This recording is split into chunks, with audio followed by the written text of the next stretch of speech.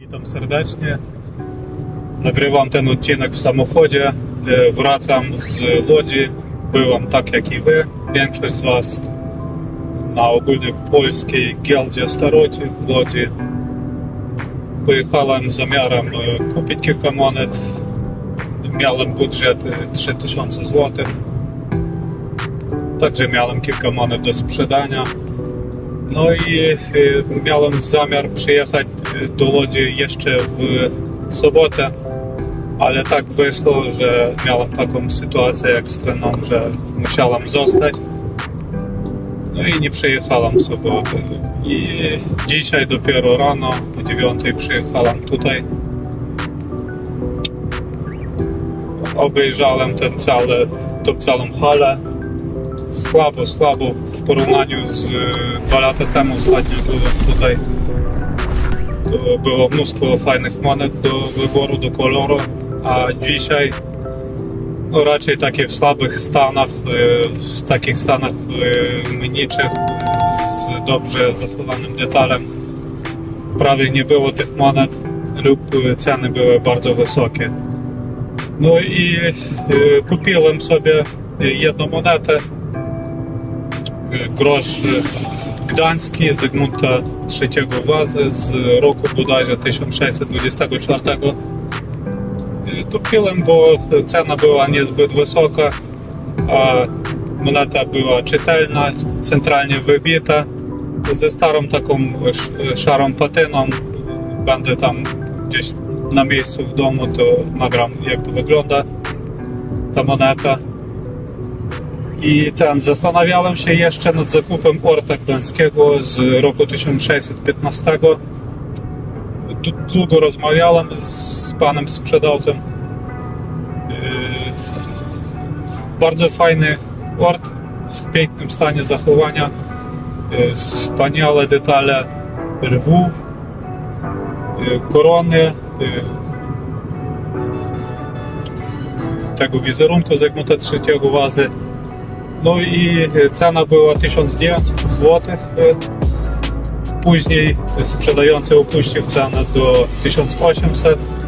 No i myślałem już biorę tego orta, bo tak naprawdę nie było co kupić na tej giełdzie. No i tak jeszcze przed zakupem obejrzałem tego orta dobrze pod, pod takim dobrym światłem. No i okazało się, że jest porysowane trochę na, na stronie z portretem króla. No i, i odpuściłem sobie ten temat, nawet nie złożyłem sprzedającemu oferty. Raczej bym wydał za taki ort 1500 zł, ale te rysy nie pozwolili mi kupić tę monetę. Naprawdę szukam jakichś pięknych, pięknych i w przepięknych stanach zachowania teraz. I takich monet jak kiedyś kupowałem, żeby mieć Orta Gdańskiego tylko z nazwy, to już raczej nie kupuję. I tak, tak się zakończyła się ta giełda. Bardzo żałuję, że wczoraj nie trafiłem, bo ta sytuacja ekstremna była taka, że, ten, że musiałem zostać, a później okazało się, że da, marnie zostałem na miejscu i mogłem sobie spokojnie pojechać na cały dzień do Łodzi być może już na wiosnę wrócę tutaj do Łodzi i kupię coś więcej. A dzisiaj mamy tak jak mamy. W tym tygodniu planuję pojechać jeszcze do Wrocławia w niedzielę. Tam też będzie giełda staroci i też będą chyba monety sprzedawane. Pojadę tam, będę szukał monet śląskich, monet pomorskich oraz monety starej, starej Polski. Tutaj też w Łodzi szukałem takie monety pomorskie, śląskie i starej Polski, ale niezbyt dużo tych monet było i trochę w takich słabych stanach i w wysokich cenach. Wróciłem już z giełdy.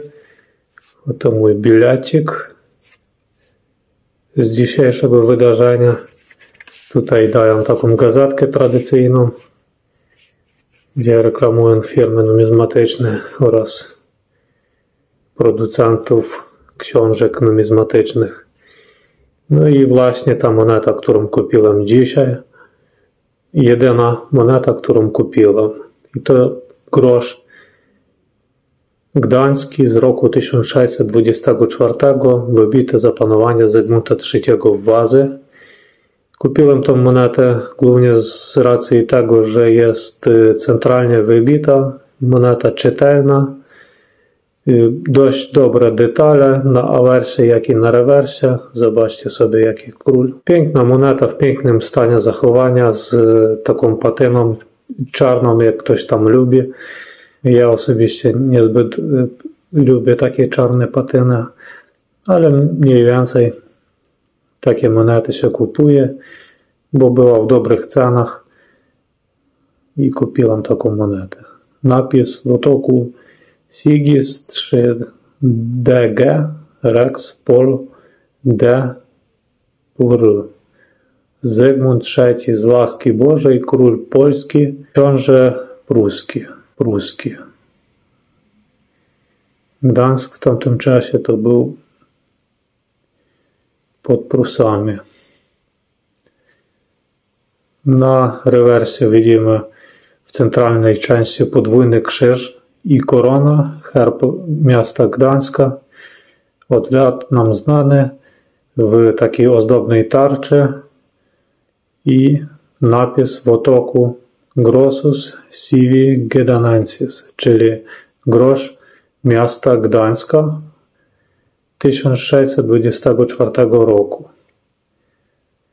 Te monety za panowania Zygmunta III Wazy w Mynicy Gdańskiej wybijano, czyli monety jednogroszowe wybijano w roku 1614, tak, jest to ogromna rzadkość z roku 1614 oraz z kolei zaczęto wybijać monety jednogroszowe w roku 1623 z literkami SB pod tarczą herbową. Po tej stronie S, po tej stronie B.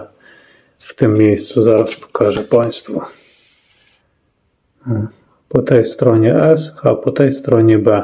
Ja osobiście takiej monety jeszcze nie kupiłem z literkami S i B, ale z pewnością może kiedyś kupię, żeby pokazać Państwu, jak wygląda ta moneta.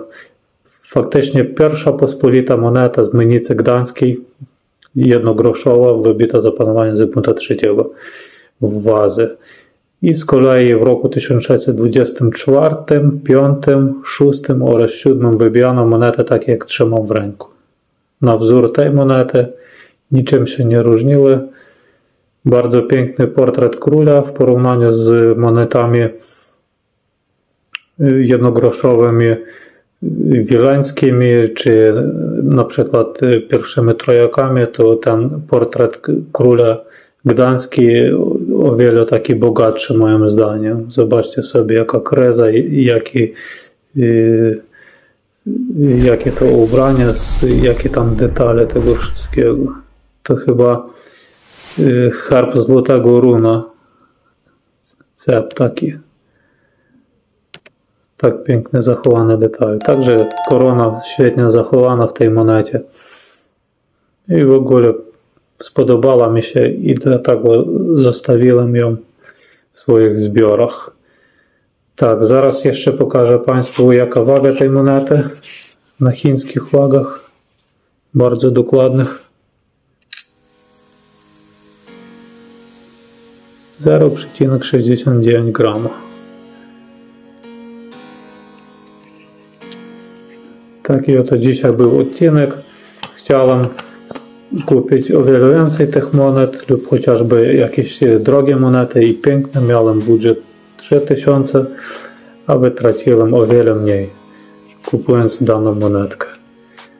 Y, także pojadę na pewno w przyszłym tygodniu y, do Wrocławia, do hali stulecia bo będzie tam też jarmarka staroci i będą tam banety. Pojadę, pooglądam razem z Wami, co tam można kupić pięknego, bo budżet zostaje i trzeba go wykorzystać na zakup monet. Dziękuję za oglądanie danego odcinku i zapraszam do kolejnych.